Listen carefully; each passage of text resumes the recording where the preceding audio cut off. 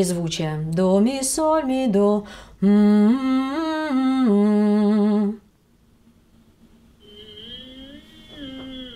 Смотрите, какие красивые наши девочки. Видите? Ну не смущайся, не смущайся.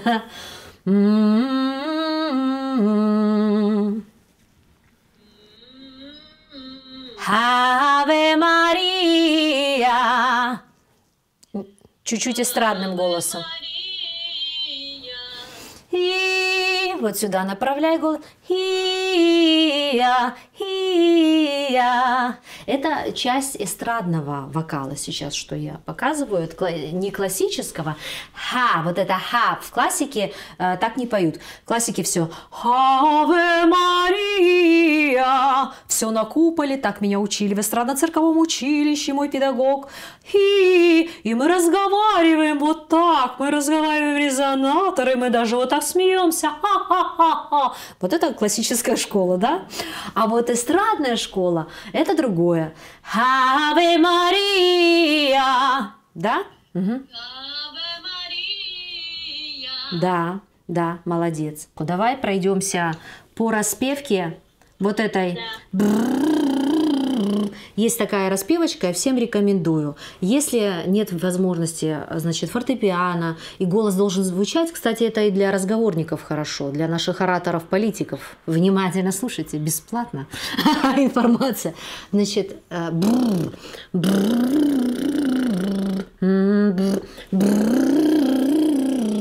ничто не напрягается, диафрагма.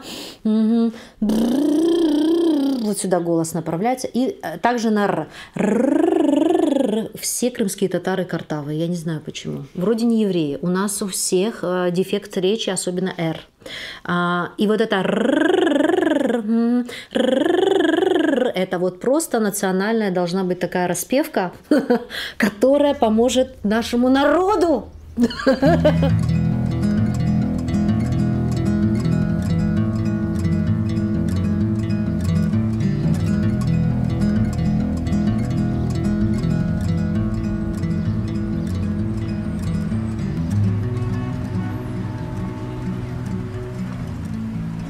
Это вообще уникальная история. Я никогда не думала, что я захочу преподавать вокал или вообще что, что-либо. Потому что у меня мама педагог в школе была, я видела, как она приходила, выжатая, бедная, нервы, все. Это очень тяжелый труд, это педагогом быть. А тут сейчас я общаюсь с этими ангелочками, крымалисы, вот детки, Э, 14 человек сейчас пока вокалисты, они меня учат своей природностью, особенно вот 5-4 э, 5-4 а, годика, они не понимают, они ловят на лету, схватывают сейчас по другое поколение детей и делают просто космос. Я у них сижу, учусь.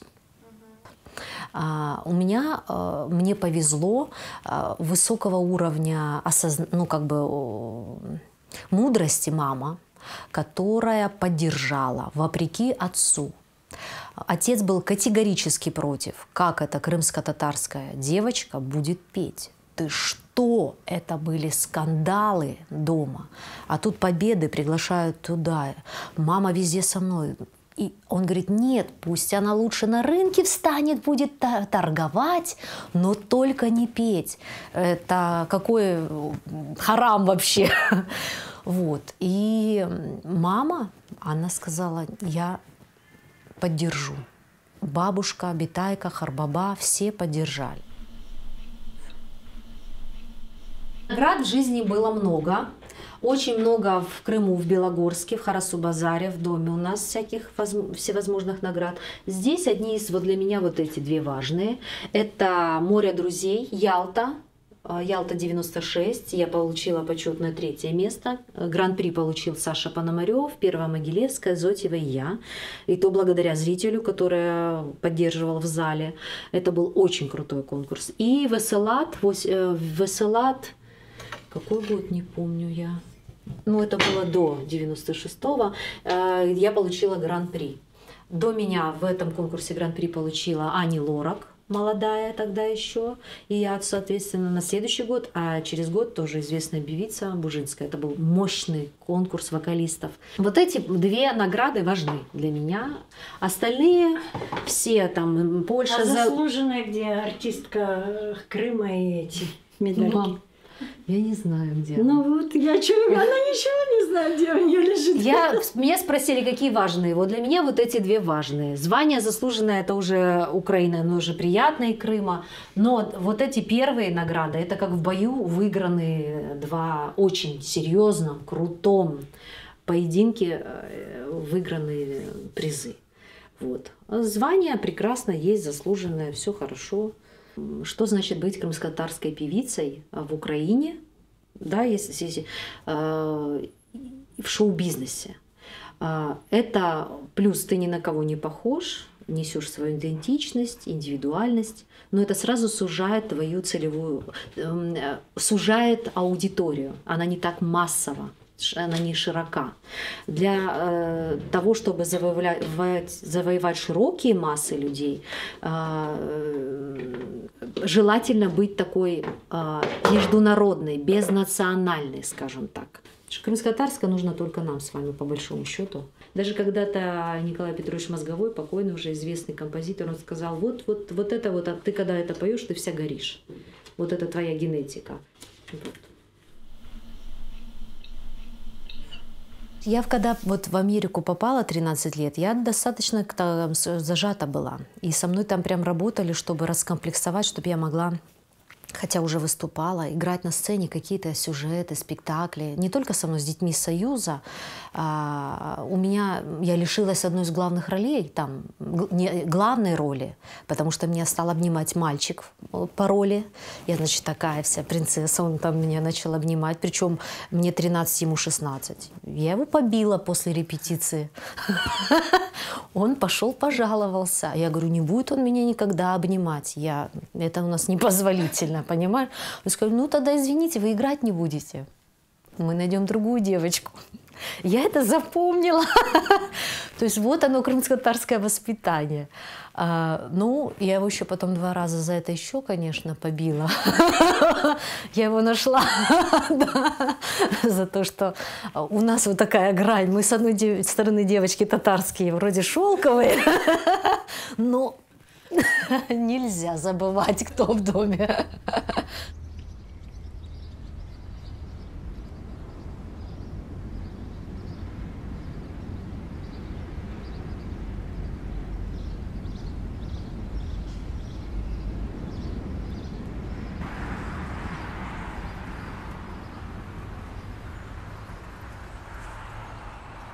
недавно на кухне своей сделала эксперимент небольшой.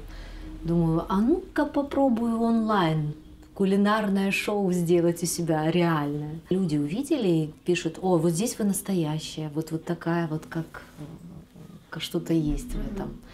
Ну, потому что на телевидении другие. Мама, уже съемки идут.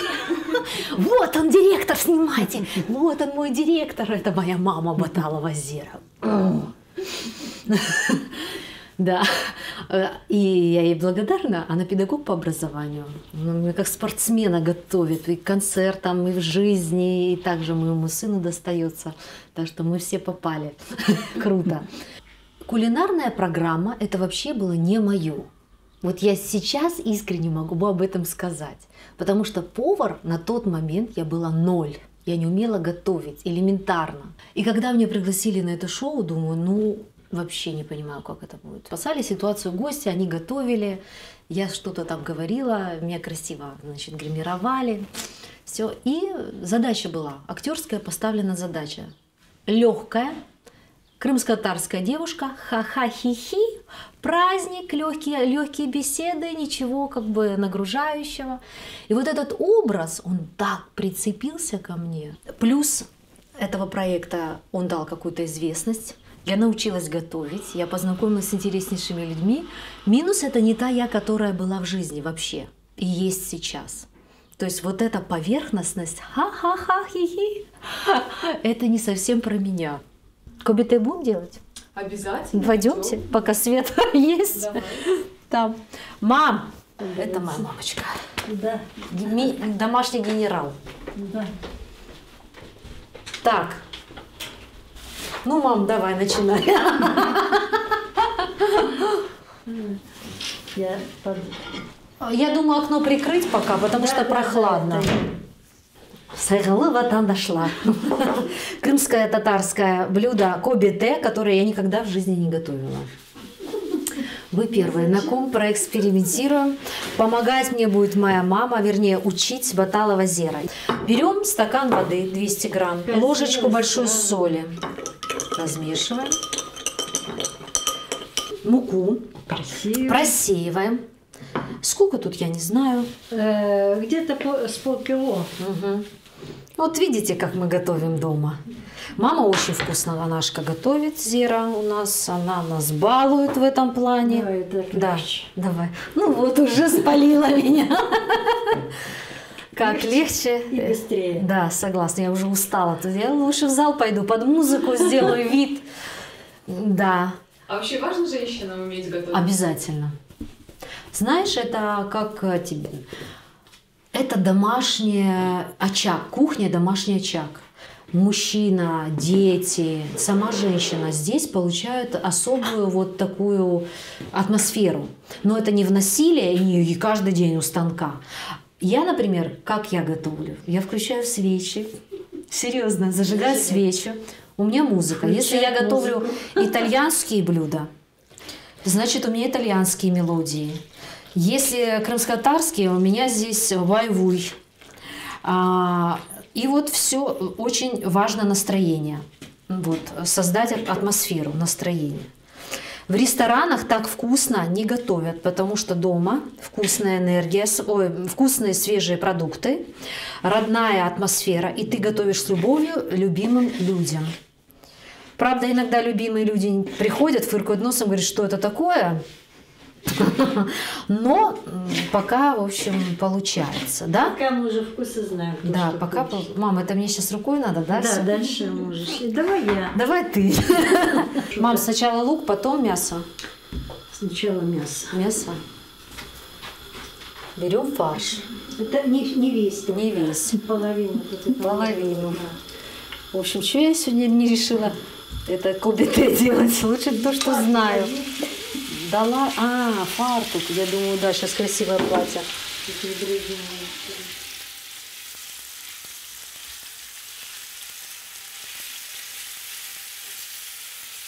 Расскажи, а ты надо мной издеваешься? О, над тобой поиздеваешься. Мама ж педагог по музыке. И первые конкурсы вот там Евпатория 88, э, всесоюзные она меня привезла. Была репетиция с оркестром. И э, Тебе сразу сказали, э, берем Да. первое. Вообще удивился, аж встал этот дирижер Да. оркестра. А потом, когда сказали Лизара, он раз в лице изменился. Это в Крыму? и э, это 88 год. Да. А он раз в лице, а кто были она? как инопланетяне тогда. А кто она? Мгм. И, видно, им шепнули, сказали, татары крымские. Я уже тут смотрю, у меня уже желудок. Хорошо или увлекательный рассказ, тогда я вообще умерла здесь. Ну вот именно, Да. видишь, для того я и вспомнила, вернее, ты меня заставила, напомнила эту ситуацию. Хамуша, ба, хамуша. Как маме перебить маму. Программа «Перебить маму». С- Спеть? Это Да? Смеялись одно время, фильм был. Хамуша, хамуша, сумелесін янмуша. Хамуша, хамуша, сумелесін янмуша. Büyük sabırlar gerek yarından, yarından, yarından ayrılmışa. Büyük sabırlar gerek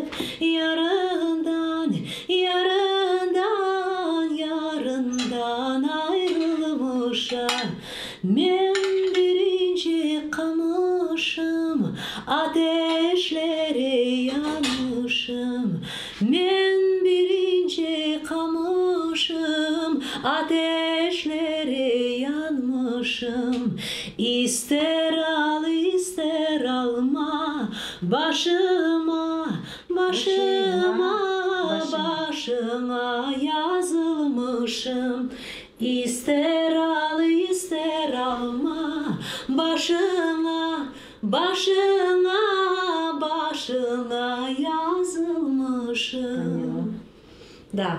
Н, М, М. Слова постоянно где-то что-то не надо записывать иногда. Потому что я не знаю, почему захотелось сейчас эту песню спеть. Я давно не пела. Так, и что? Так, выкладываем вниз донышко. Масло надо тут потереть? Ну, не надо. Я не доделаю. Ну, оно такое жирное, что нет. Так, сковородку с фаршем. Это ложечку выкладываем.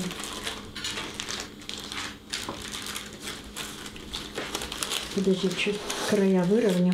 А вы так каждый день вместе готовите? Вот это? Нет. Нет, один. На кухне, Нет, на кухне человек- должен быть один хозяин. Если я готовлю, я прошу маму покинуть помещение. Соль на соль пробовала, Аля? Да, и, и, наверное, на глаз. И если мама, то я ухожу. 45 минут где-то. Да, 45 минут. Поехали.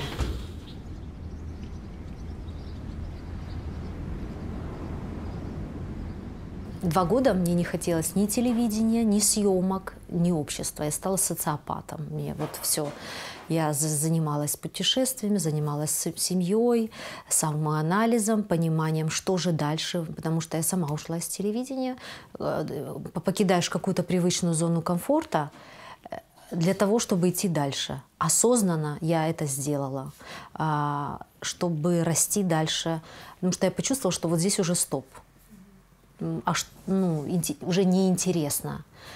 Неинтересно мне, значит, не будет зрителю интересно. Если ты сам не горишь, не будет го- гореть и зрители, не будет аудитории, не будет рейтингов и ничего.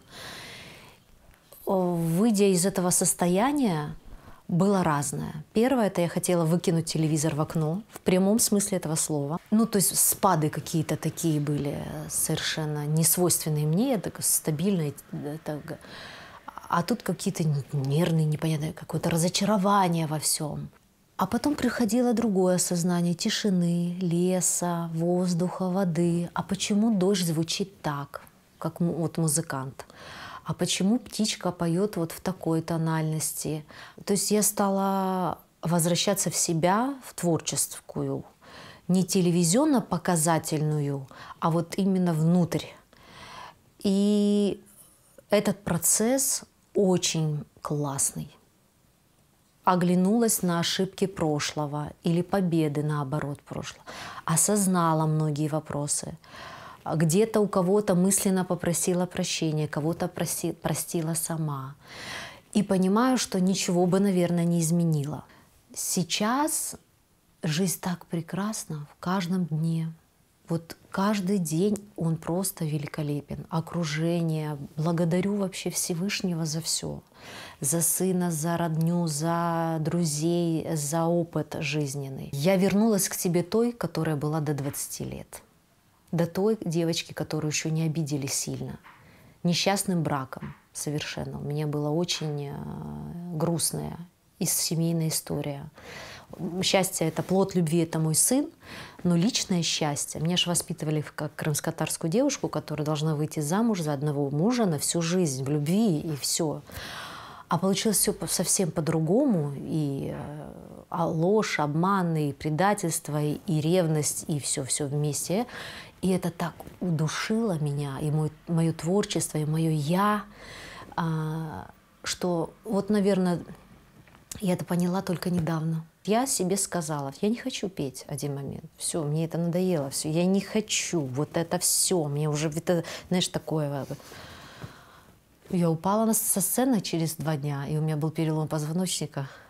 И я лежала два месяца и вспоминала свои слова. Я потеряла потом на год работу, и потом менялась жизнь. Я выходила из этого очень долго. Надо думать, что говоришь сама себе и что ты, о чем ты мечтаешь. Это мы недавно были на мероприятии, и там говорит, слушай, там такая там артистка про тебя сказала то-то, а про другую сказала, что она проститутка. Я говорю, как? Уже не я. Он говорит, нет, списали тебя. Я говорю, что такое? Стареем. Но это любимая тема вообще. Знаешь, иногда люди видят по телевизору, такое придумывают. Так, и там и гуляют, и еще что-то, и какие-то клубы, и, и алкоголь.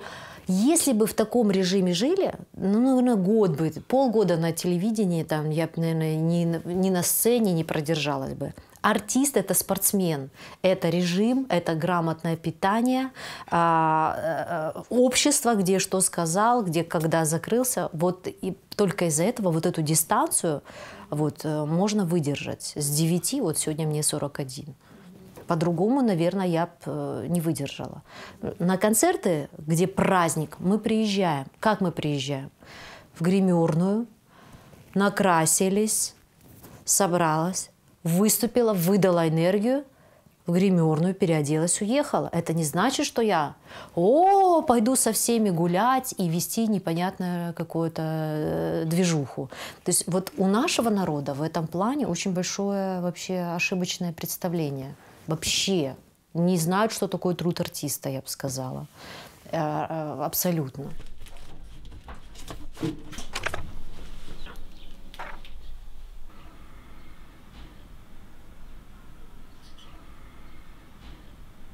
После длительного перерыва, э, новый этап жизни, я решила вернуться на сцену как певица. Как это непросто. Э, Разовые какие-то выступления в Крыму для крымских татар, где тебя любят в априори, чтобы ты не вышел, не спел, не сказал. А тут захотелось вернуться на большую сцену, международную. Скажем так, долго к этому шла. Записала сейчас песню на студии а, на двух языках, на украинском и турецком. А, На турецком для того, чтобы выйти на турецкий рынок. Я надеюсь, что результат увидим скором времени, потому что я сняла клип уже в Киеве, чтобы показать свое творчество и, может быть, примкнуть к какому-то лейблу или какой-то продюсерской компании, чтобы снять с себя обязанности менеджера. А я готова работать. Я умею работать уже много-много лет э, на сцене. Умею держать зал от мала до велика и петь на разных языках. Но вот менеджерскую работу я хочу в этом плане передать а вот, профессионалам, людям, которые могут этим заниматься и зарабатывать, соответственно, тоже. Вот, допустим, это с съемок клипа.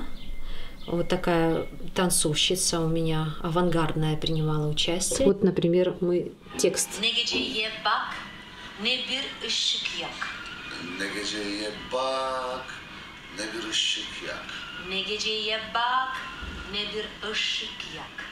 Karanlığın, Вот эта вторая читка, это был, конечно, кошмар. Karanlığın ardından güneş doğacak. Я сейчас уже.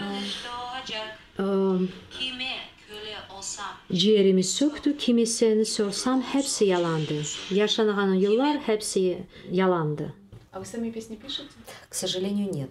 Но вот я поставила себе, поз- может, мне надо себе позволить. Вот пару раз мне снился сон, мне снилась мелодия, мне надо было ее записать. А, Это вот у меня то же самое с уроками вокала. Я не могла себе позволить. Почему? Потому что ответственность очень велика. Ставить, э, как э, приходит, и люди учатся профессии. А, Надо максимально все, что возможно, дать ученику грамотно, чтобы в пользу было. Степень ответственности. Вот для меня сочинить музыку это тоже очень ответственно. Это должно быть очень хорошо. Или не надо никак. Да, Вера Григорьевна? Да, солнце, да, родная. Я так кушать хочу Дразненько. твоим запахом. Вот эти кобите пахнет сейчас в той комнате. И нельзя. Вы не помните время, во сколько мы поставили? Ну, по-моему, уже готово, судя по запаху. Так. Сделаем вот так тогда. Так, да, мам, с бумагой прям? Да, да, вы можно. И потом... Ну, вроде симпатично.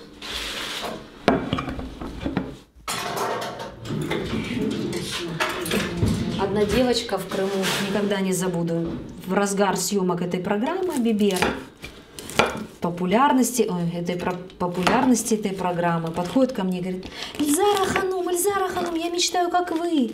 Что-то Как? тяжело. Не знаю, режешь, на. Как будто бы Я это... что-то оно деревянное, потому что вам...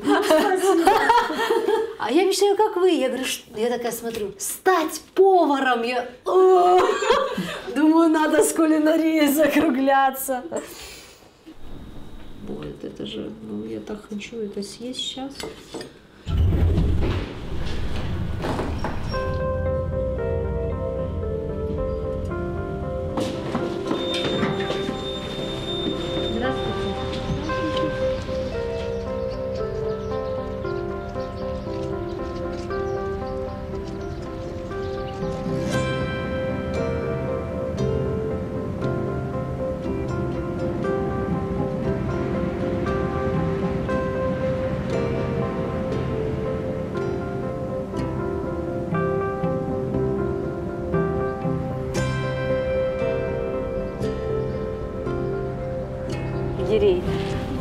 Ко мне рядышком.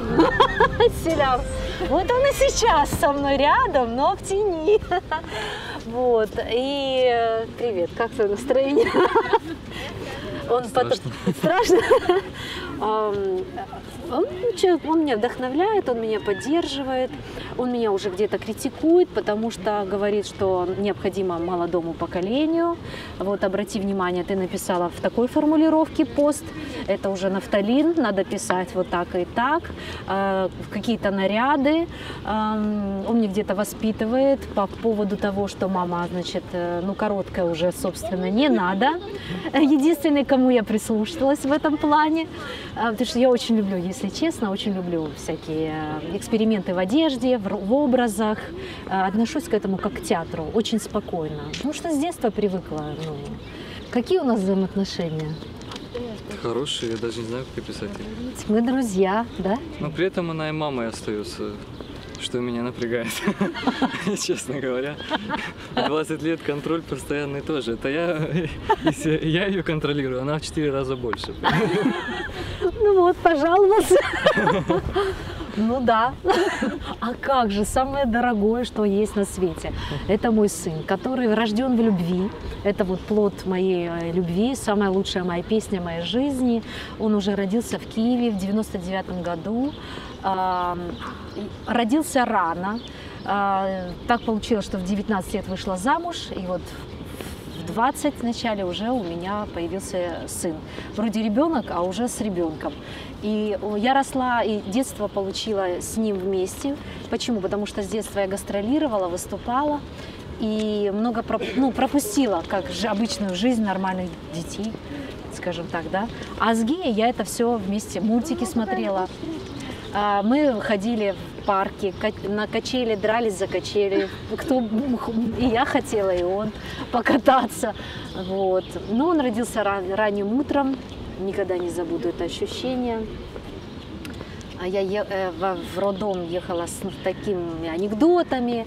Когда приехала скорая, я их веселила всех. А- А уже потом было не смешно. Не смешно.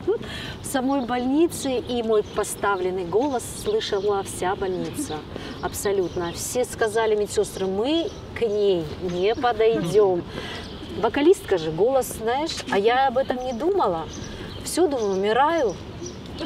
А, Мамочка кричала. И медсестру ущипнула. Ну, в общем, главное это счастье, когда берешь, э, когда рождается ребенок, ложат на животик, и все, ты понимаешь, что это он. И по поводу высшего счастья для женщины, ну просто невозможно себе представить. И это так волнительно. И я так переживала, чтобы у меня его не украли. Не знаю почему, но вот это у мам всех вот бывает. Фильмы насмотрелась, что детей меняют, еще что-то. И я пыталась срочно его запомнить. Его цвет кожи, его все, чтобы мне не принесли другого. И потом принесли. Там его перепутать невозможно. Украинские дети все здоровые рождались, уже такие готовые. Белощеки, э, краснощеки, белые. А тут заносят маленького, черненького. Значит, такого второго не было. И вот он не давал мне выйти не в коридор, никуда. Вот всегда стоило мне выйти, мя, мя, думаю, как он это слышал. Надо сказать, ничего не изменилось, да, сын? Он не дает мне выйти, у меня нет никакой личной жизни. А Он мне говорит, где? Когда? Почему? Это ужас. В общем, я попала конкретно, да? Мама приукрашивает. Что приукрашивает? Сто раз звонок. Где? Почему? Когда, когда ты будешь? Аккуратно, дверь закрой. Если я выхожу, дверь закрой. Такое. А вы вообще думали о творческом союзе? Я видела видео, что вы вместе выступали на. Меня заставили, в, это- в этом-то и суть. 16 лет сейчас бы я ни за что в жизни не вышел. Но тогда я подумал, раз уж меня просит мама, надо выйти. Но петь я вообще не умею. И никогда я не хотел этого, поэтому... Петь он умеет. Тогда он так не умел, сейчас он поет шикарно, у него прекрасный тембр голоса. Он поет кажется. Э, гимн крымских татар Антет Кенмин гениально, великолепно. Это я говорю не потому, что он мой сын. Это, ну, это, но он не хочет на сцену. Тогда это был экспромт, правда, это было без репетиции абсо- абсолютно. Был в проект, где артисты выступали со своими детьми, и без него мне просто бы не выпустили на сцену. Я сказала, спасай. Еще в штанах таких выпустили, как будто 80-х, вот такие широкие. Я Красиво. серьезный. Красивые штаны, ничего себе, дорогие. У тебя, кстати, дороже вещи, чем у меня всегда. Да? Ир? А у тебя какие сейчас планы на обозримое будущее? Что планируешь делать и вообще сейчас чем занимаешься? М, Я долго искал, как бы, чем хочу заниматься вообще в жизни. Поступил сначала в колледж на финансовый кредит, поучился, понял, спасибо, но нет. Поступил на маркетинг, тоже посмотрел, сказал, нет, спасибо. Много где работал, потом все-таки сейчас стал изучать э, 3D-анимацию. Но я сейчас только на, на начальном этапе, но мне нравится, думаю, что, скорее всего, я буду развиваться в этом направлении. Не ищет легких путей. Вот вообще, он просто идет своей дорогой. Я ему говорю, вот так, можно вот так. Он говорит, я сам. Ну, окей. Потому что сам, все пути, сам. которые выбирают родители, кстати, кому 20 лет, не слушайте, делайте сами. Говорят на юриста поступать, не хочешь, не иди. Кстати, сынок, ты бы был хорошим Да, да. юристом. Вот если серьезно, он был, был бы хорошим юристом. Потому что он очень, ну, и пишет хорошо. Ну, в общем, не хочу его хвалить. Пусть делает, доказывает, и потом про него снимете отдельно программу. А пока вот ищет себя. И все хорошо.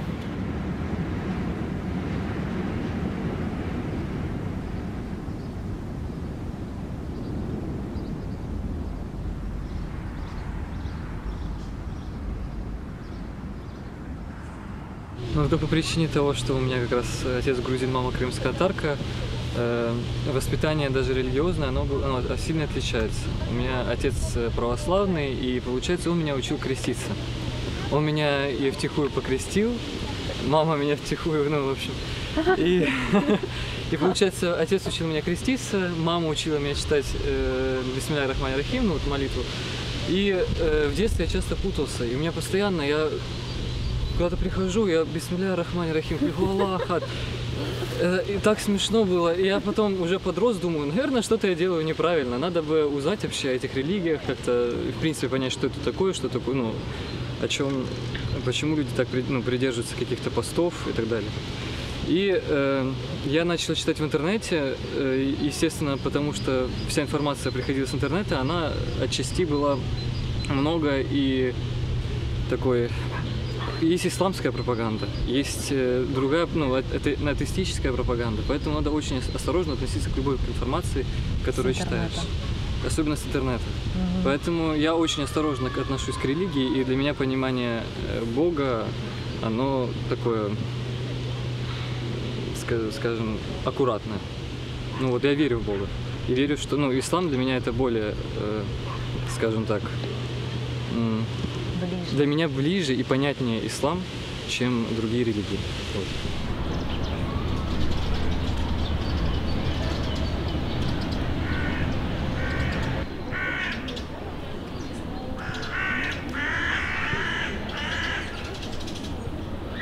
Я очень много слушаю Он музыки. Крымско-татарской, но имена не все помню. Ну вот мама про Зарему Ханум сказала, мне очень нравится Зарема Ханум. Он очень музыкально, с хорошим вкусом. Баха, Моцарта слушал, ходил в музыкальную школу, наверное, это тоже где-то отложилось, и слушает классику, и оно вот как бы так, слава Аллаху. Ну, не так сильно классику. Раньше ты больше классику слушал, а сейчас... Когда как? Ну, У меня вообще вкус удивительный. Я или сердючку слушаю, Да, или, или э, Шопена. У меня как-то вот э, из крайности в крайность. Да. Недавно вот э, этот Бок, Боку начал слушать. Очень нравится. Очень классные песни. А я захожу в комнату, что случилось? Где? Что Так с тобой? я текст наизусть выучил. Э, А ну, Эта карта, э, эт- эта карта будет дама, бьет вольта, как ты бил маму. о, стопудово, кошмар вообще. Он не со мной вообще, не со мной. Это музыка такая философская, глубинная. Мама мне всегда прививала хорошую музыку, и бабушка тоже. Слушал Кабанеру там, ну, такую. Э, пер- Пересаживаюсь уже в, в- в- к отцу там, э, там в машину, уже совсем другой стиль там. Да. Э, Или грузинский, или вот как раз что-то на уровне боки. Да, нет, а еще мозгового Николая Петровича. Мозгового, да, поэтому у меня в музыкальном плане Украинскую культуру, да, все очень широко. да. Я сейчас как раз в последнее время сильно задаюсь вопросом национальной иденти- идентичности. То есть у меня есть однозначно гене- гене- ген- генетика грузинская, я это в себе ощущаю по характеру, то есть я смотрю на своих э, родственников со стороны отца и вижу в себе те же черты, которых, которые есть и у них. И э, смотрю э, на эту половину и в этой половине также вижу. Но э, ментальность у меня крымско-татарская больше, потому что меня воспитывали в крымско-татарской семье.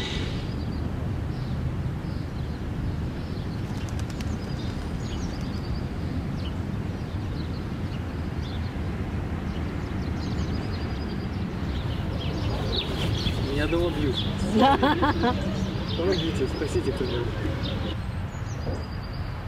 У меня талант влюбляться не в того, кого надо. Вот вообще просто талант. Как я так умудряюсь, вообще непонятно. Вот. И э, сама светлый человек, мне все кажутся вообще великолепными, добрейшими, прекрасными людьми. Потом по- получается, что ну, не, не совсем так, как я думаю. Они великолепны, но не для меня, как потом выясняется. Или еще что-то. Эм, Э, Поэтому вот э, в личной жизни, вот в большую свою часть жизни я достаточно одинокий человек. Сцена, наверное, заменила, и работа заменила мне мое личное счастье, личную жизнь. И комментарии, и любовь людей заменили личное, скажем, да, такое где-то недостаток личного счастья. Но есть, опять-таки, семья, есть эм, там, мама, братья, самое главное, сын, которые помогают и восполняют. Сложно иметь все, наверное, но я к этому стремлюсь. Я мечтаю о личном счастье очень сильно. Мне очень хочется быть любимой, любить, эм, создавать домашний уют, путешествовать вместе, работать вместе, помогать друг другу вместе. Эм, Это большое такое счастье, как на мой взгляд. А, Но когда ты на сцене, не все мужчины имеют стержень и смелость взять себе в половинку яркую артистку. Многие боятся, я хочу тебе сказать. Боятся. Дело в том, что любящий мужчина никогда не скажет, не перекроет кислород любимой женщине, он поддержит. А даже вот с сыном, сына отцом, когда у нас был уже разговор, мы расстались достаточно быстро, а, и он против был моей сценической деятельности, и на взлете моей сценической деятельности, имея всю возможность меня поддержать, он делал все, чтобы наоборот этого не было. И я уже расставшись, вопреки смогла и выступала, и работала, и, и как-то он мне позвонил, говорит, прости меня, я был неправ. Говорит, то, что это твоя жизнь.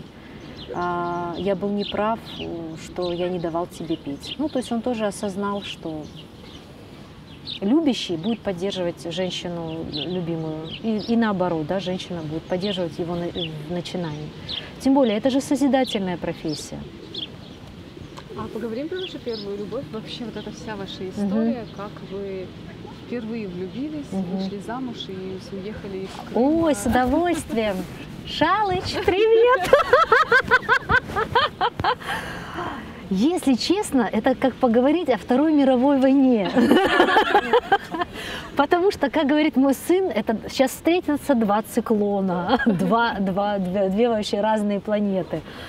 А мы настолько оба яркие, он в своем деле, в своей жизни, и темпераментные, и с, и с характером, и я в своей. Я вообще удивляюсь, как мы сошлись.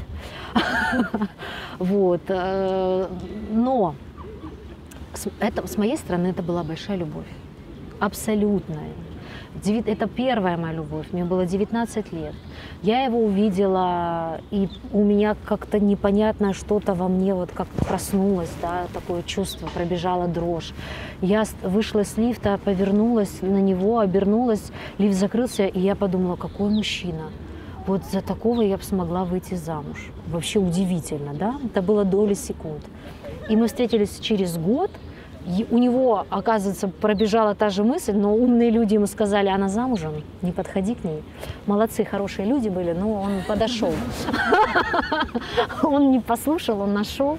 И нашел, и сумасшедшая разница в возрасте. Э, 29 лет, мне 19, ему 47. А, Он поджарый, э, интересный, э, самодостаточный, с колоссальным опытом вообще с обращения с женщинами. У меня опыт, ноль, а вообще никого никогда. Поэтому что было меня завоевать с его стороны? Да ничего. Я ну как бы эти миллионы алых роз, эти слова, эти песни, любовь моя, я и поверила, любовь. А, вот. Парадокс жизни, что он грузин. И когда мы, я уже там все серьезно завертелась, а, приехала в гости к нему домой, у него висела кни- э, э, портрет Сталина, и на столе книга настольная «Любовь к Сталину» была в полном расцвете. И я говорю, а что это такое? Я рассказала за крымско-татарский народ, то все. Вот парадоксально, да, как вообще в нашей семье, собственно, как моя бабушка говорит, Берия, там еще, она просто... И вот так, вот, ирония судьбы. После того, как он познакомился с нами, с крымскими татарами, с нашей культурой, он убрал вообще отовсюду Сталина, и книги больше не появлялись ни дома, и он стал пропагандировать вообще как бы крымских татар, подарил мне сразу мусульманский полумесяц, то есть в этом плане никогда у нас не было э, каких-то проблем. Проблемы начались позже, э, потому что прошла вот эта, наверное, какая-то эмоция, горячка и все, все, все остальное. И мои не были за этой всей ситуацией. Крымские татары меня просто бичевали словами. Я то, что я слышала о себе, это просто ужас. Межнациональный брак, еще и разница в возрасте и все остальное. Вот, но мне было настолько все равно, потому что я была вся в любви, э, абсолютной э, любви, и сейчас не жалею. А, Ну а потом в один момент прекрасный, раз человек стал другой. После родов как-то так, раз и другой. И моральное какое-то вот давление.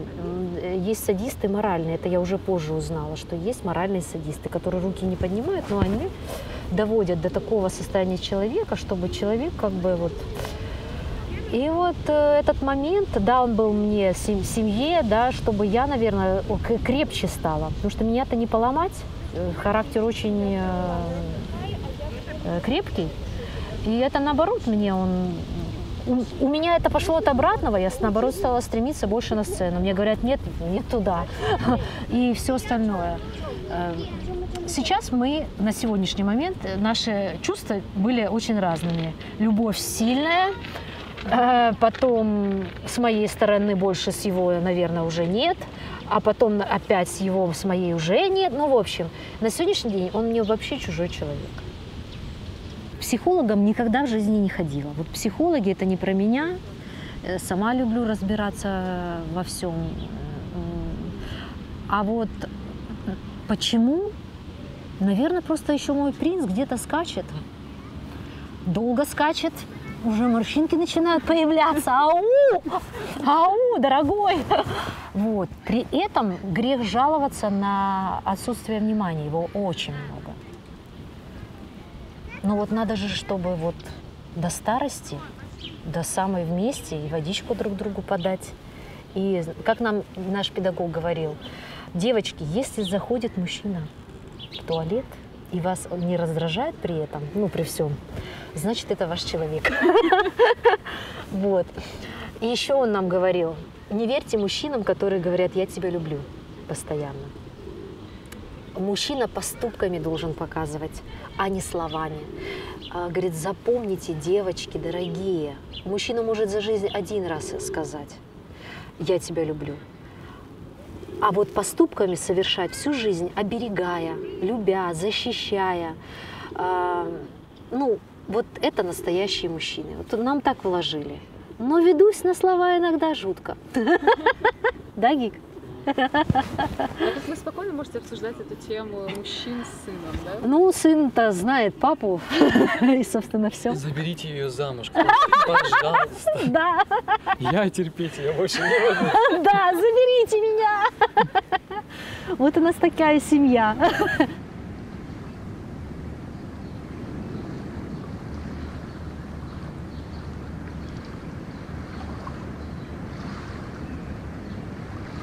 Gemiler çıkarlar denizden Onlar er kun korer Ne için yan yana gönlümden Hem kıvanç hem ellem Alıp getin beni gemiler Arzıma yeteyim. Kim bilir yarın ne olur? Men dava eteyim